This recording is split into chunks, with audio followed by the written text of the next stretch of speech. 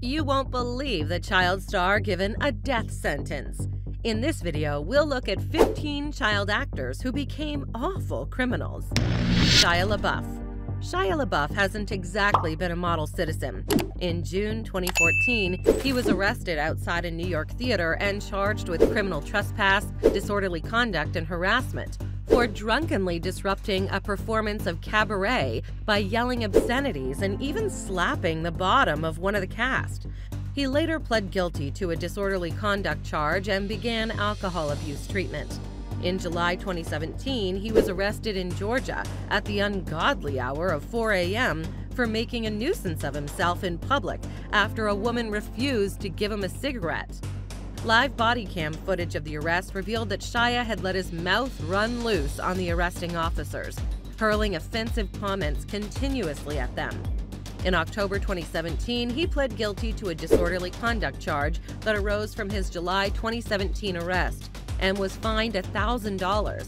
He was directed to seek anger management and substance abuse therapy and given a year of probation. And then, in June 2020, Shia got in a fight with a fella and stole his hat, and was some months later charged with petty theft and battery. The charges were later dropped on the completion of a court ordered program. Topping everything detailed so far was the December 2020 suit filed by Shia's ex girlfriend, alleging assault, sexual battery, and the infliction of emotional distress. She also said he knowingly gave her an STD. This lawsuit will be tried in April this year, and Netflix and industry personages have already begun distancing themselves from him. Be sure to stick to the end to see just how Orlando Brown ruined his career. If you thought that Shia LaBeouf story was crazy, wait till you hear this next one. And don't forget to hit that subscribe button so you don't miss out on more amazing videos. Ryan Grantham. Ryan Grantham is currently muddling his way through a life sentence after snagging a murder conviction. He had supporting roles in movies like Way of the Wicked, Diary of a Wimpy Kid, and Riverdale. Early last year, the Canadian entered a guilty plea on second degree murder charges of killing his mother. The whole thing played out on March 31, 2021, with Grantham, who had been suicidal and homicidal for months, shooting his mom as she sat playing the piano in their family home. He then recorded a confessional video, covered the body, and headed out in a car the next day that was packed with guns, ammo, and firebombs. He planned on killing the Canadian Prime Minister, but later changed his mind and decided to commit mass murder at either a nearby university or a busy bridge. Ultimately, though, he meekly turned himself in. Grantham later explained that he killed his cancer battling mom in order not to cause her any pain from hearing he had taken the life of the prime minister and or fulfilled his mass murdering fantasies. He has been assessed as suffering from serious mental health issues, which had been brought on by alcohol and marijuana abuse. Marcus T. Paulk. Marcus got his big break on Moesha, with the sitcom running from January 1996 to May 2001. This guy had supporting roles in Nothing to Lose, High School Musical 3, and Take the Lead. In February 2015, the former child star was arrested in Arizona and charged with DUI and possession of controlled substances, for which he ultimately got a year of probation. When arrested for driving erratically and too close to emergency vehicles, he reportedly stunk of alcohol, with a bag of weed being discovered in his pocket. In August 2013, he kicked his girlfriend during an argument. The couple had been out at a nightclub when Paulk felt that his girl was not giving him the attention he deserved. An argument began when the two got home and grew hotter, with Paulk getting physical and driving her out of the house. The girlfriend later went to the hospital with internal injuries, narrating to hospital staff and the cops what had transpired between her and Paulk. He surrendered to law enforcement and spent a few days behind bars. Ultimately, a plea bargain deal was reached. He didn't have to do major jail time and only had to maintain a 100 yard distance from the woman he had assaulted and enroll in a 12 month duration domestic violence treatment program. Amanda Bynes. In late September 2014, the ever troubled child star was arrested for DUI and held on $15,000 bail. The arrest reportedly happened after Amanda stopped in the middle of an intersection for a traffic light. This was by no means her first DUI arrest, with Amanda Bynes infamously colliding with a Los Angeles County Sheriff's Department cruiser in 2012 while allegedly driving under the influence. The three year probation that followed that particular offense began in February 2014. In 2013, she made the news for the umpteenth time after starting a fire in the driveway of a stranger and throwing a bong out of the window of her Manhattan building. The What a Girl Wants and She's the Man actress has had a very public battle with substance abuse and has announced a bipolar disorder diagnosis. Things with her got so bad that she had to be placed in a conservatorship from August 2013 until March 2022. Amanda has been missing from the big screen since 2010, but has lately been talking about making a comeback. Edward Furlong. Remember Edward Furlong? At 13 years old, he starred in arguably the best action movie of all time, alongside a certain Arnold Schwarzenegger. The movie in question is not The Last Action Hero or Conan the Barbarian, but Terminator 2. Edward spent the 90s popping up in not very successful movies like Little Odessa and American History X. But from the beginning of this century, he kicked off a life of near daily partying and became addicted to drugs, with this making it almost impossible to get movie roles and have a functional life. He married in April 2006, but his wife filed for divorce in July 2009. In September 2009, she filed for a restraining order after he hit her while under the influence.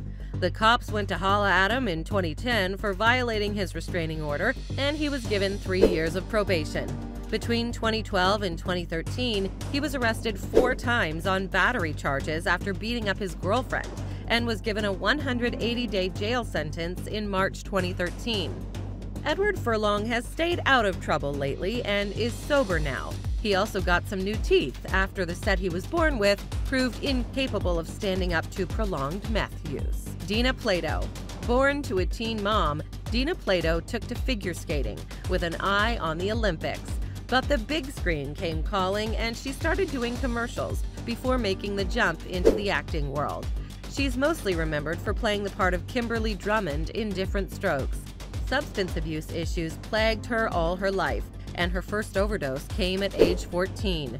She married in 1984, separating in 1988, with her mom dying the same week of the separation. Dina then gave power of attorney to an accountant who subsequently took off with almost all of her money. And in 1990, she lost custody of her son.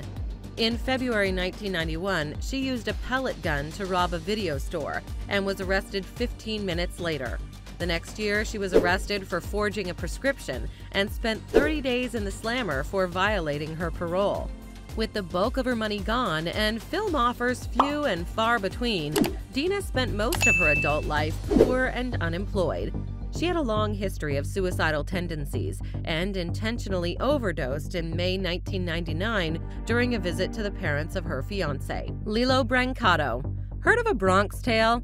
It is a coming of age drama that, while not a box office success, was very much lauded by critics. That movie was the first ever directed by Robert De Niro, and among the cast was a certain Lillo Brancato, who got paid $25,000 for his on screen efforts. From all indications, he looked set to make it to the top, and it didn't hurt that he had an uncanny resemblance to Robert De Niro. But once fame and fortune came calling, Lillo couldn't resist the allure of drugs and alcohol. Soon enough, he was addicted to both heroin and coke.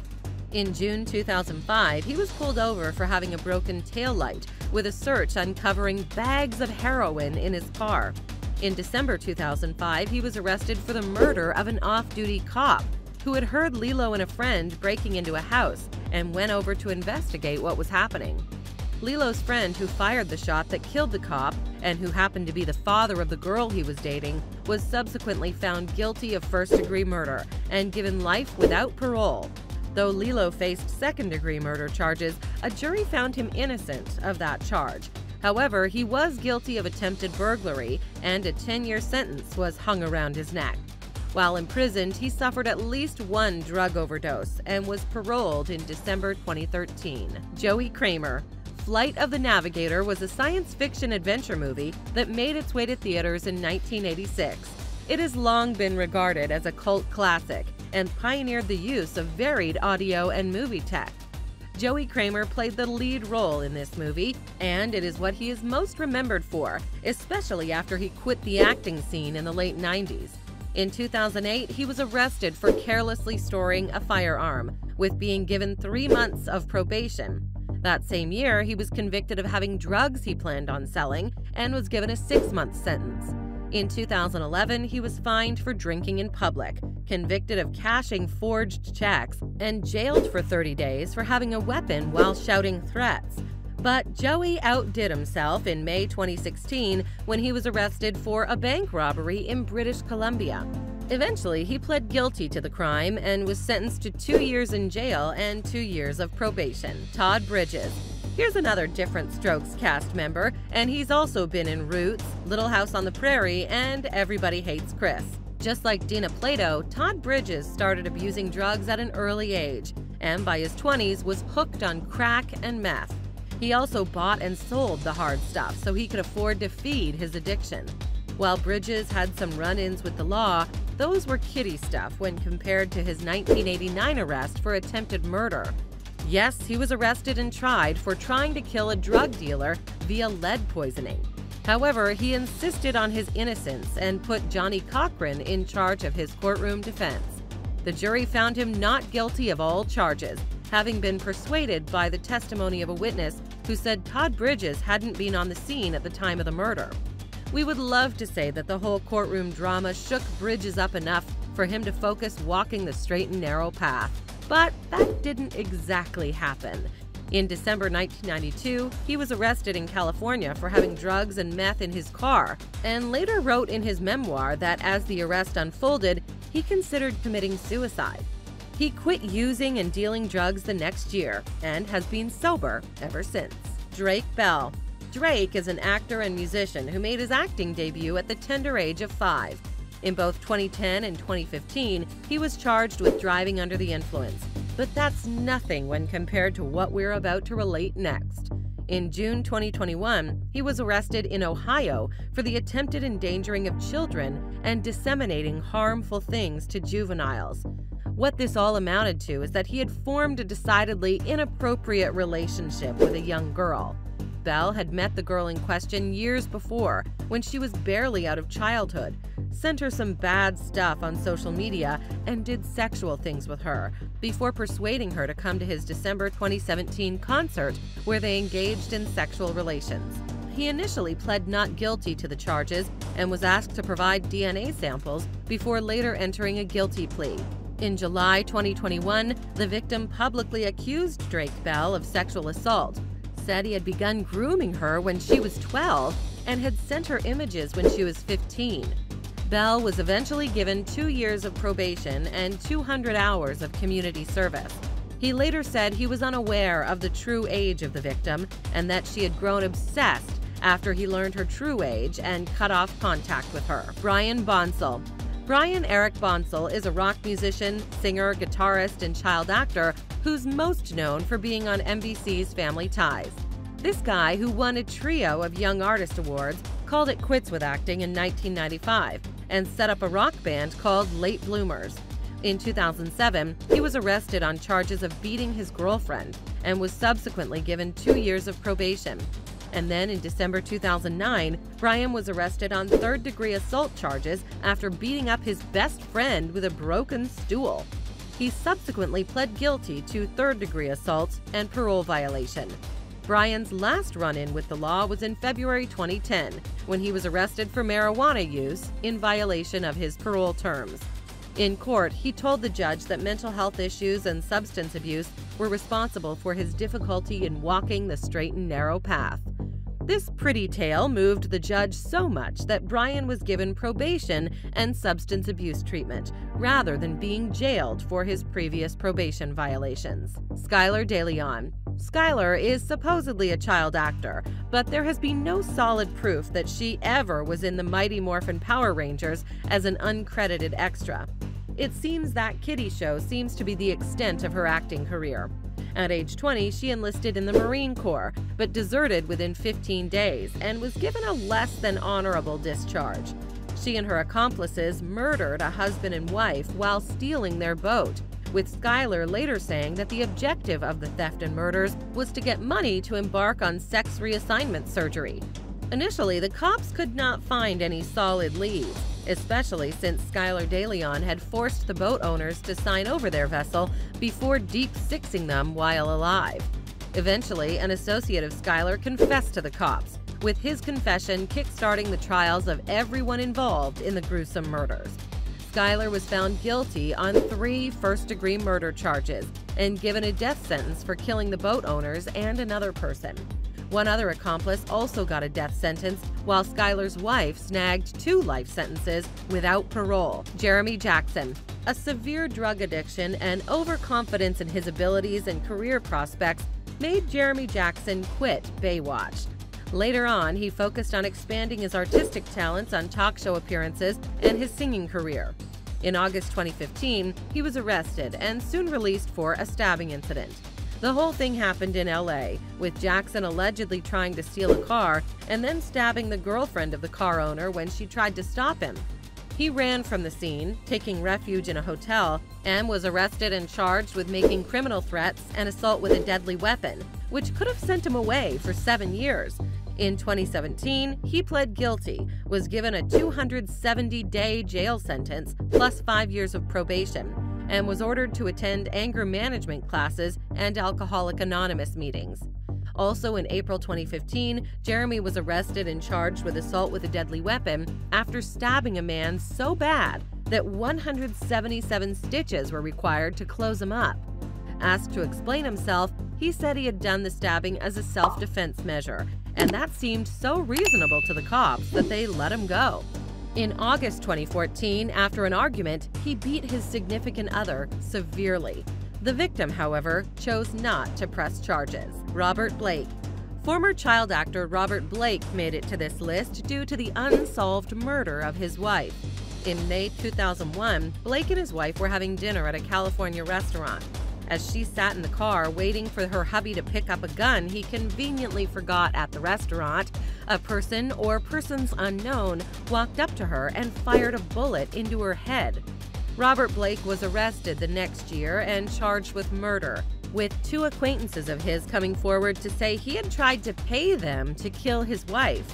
Blake was eventually tried and found not guilty, as there was zero evidence tying him to the murder weapon. After the trial, the children of the deceased filed suit against him for the wrongful death of their mother. A jury ordered him to pay them $30 million, with this payoff being later halved on appeal. He declared bankruptcy, owes a ton of federal and state taxes, and these days does his best to stay under the radar. Orlando Brown. This former Disney star and Major Payne cast member has been in quite a bit of trouble and like many others on this list, has major substance abuse issues. In February 2016, he violently assaulted his girlfriend, apparently forgetting or uncaring of the fact that he was in the parking lot of a California police station. When the cops arrived at the scene, they found drugs on him and charged him with drug possession, domestic battery, and obstruction of justice. Released on bond, he failed to appear on his court date and was rearrested in March of that year during an altercation with his girlfriend and her mom. Taken to jail and released on bond, he again failed to show up on his court date, fleeing to Nevada, and in April 2016 was caught by bounty hunters. In June 2016, the taxi he was in was cited leaving a house of ill repute, and it was stopped with Brown being questioned. He proved uncooperative with a search finding meth on his person. The cops came for him again in September 2016 after he broke into a restaurant owned by a friend and tried to change the locks. Brown's last arrest was in December 2022, and he's being held in Ohio on a $25,000 bond. He got there on domestic violence charges after threatening his brother with a broken knife and hammer. Click here to see 10 child actors who ruined their careers. See you there.